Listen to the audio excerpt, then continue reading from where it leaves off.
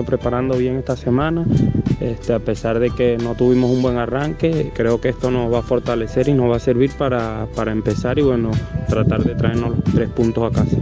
Seguramente es un partido muy especial, pero con la misma responsabilidad, vistiendo estos colores y bueno, tratando de darlo al máximo, aportar con goles, asistencia y bueno, que, que podamos traer los tres puntos que en verdad los necesitamos. Yo creo que ser contundente arriba, tratar de obviamente estar más sólido atrás, no recibir goles y bueno, convertir el juego que hicimos eh, en ocasiones y concretarla, que el fútbol es así, se gana haciendo los goles y bueno, tratando de que te hagan lo menos posible.